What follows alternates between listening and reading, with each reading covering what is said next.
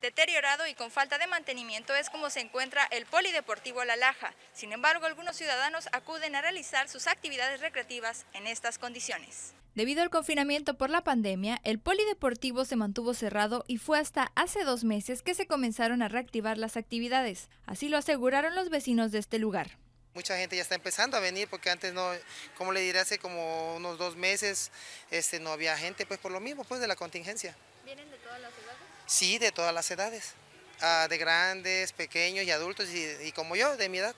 Señalaron que debido a la falta de uso durante este lapso y el desgaste ocasionado por algunas lluvias ha provocado imperfecciones en las canchas, además de la falta de iluminación, pintura y limpieza en esa zona las canchas hay algunas partes que están este, dañaditas, las mallas, un poquito de la pintura, este, el pasto también, por, cuando hubo las lluvias hace varios meses, este, les tiró el caucho, se hicieron pozos y, este, y todo eso es perfecto también de las lámparas, hay como 6, 7 lámparas que no, que no están en, este, no sirven pues prácticamente.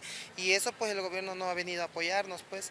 Eh, la parte de allá arriba hay una, este, es un, para actividades de, de ejercicio, también este, no, no, no ha habido este, quien vaya pues a limpiarlas, ni ha habido este, quien las pinte. Se ha olvidado un poquito de este, de este parque, la verdad, el gobierno.